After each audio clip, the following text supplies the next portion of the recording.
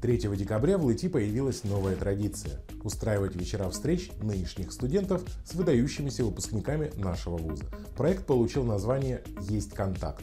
Встречайте у нас в гостях выпускник ЛИТИ, доктор технических наук, один из основателей компании «Автоган», который окончил этот вуз в 1996 году, Алексей Ковш.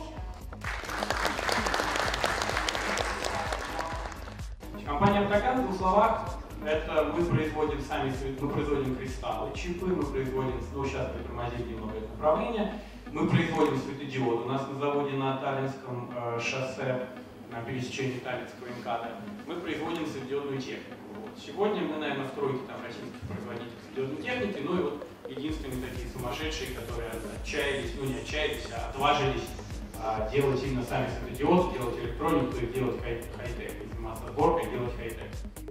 Бывший ученик Жареса Алферова в непринужденно шутливой манере рассказал собравшимся о своей учебе в ЛИТИ, о работе за рубежом, о своем становлении как личности и бизнесмене, об интересных встречах с выдающимися людьми.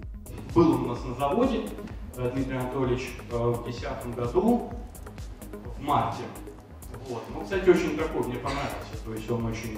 Однажды там довелось руку Владимиру Владимировичу пожать, он там так взгляд такой тяжелый, а Медведев очень открытый, такой очень приятный, приветливый.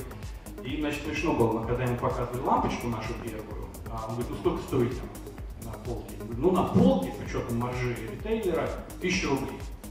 Вот, но это самое, там, это был 10 год. Говорю, к 14 будет уже там 250.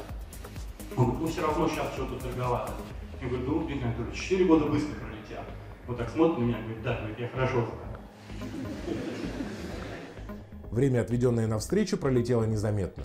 В качестве напутствия Алексей Ковш призвал студентов как можно больше вкалывать, поскольку, по его мнению, лучшего рецепта для успеха в жизни не существует.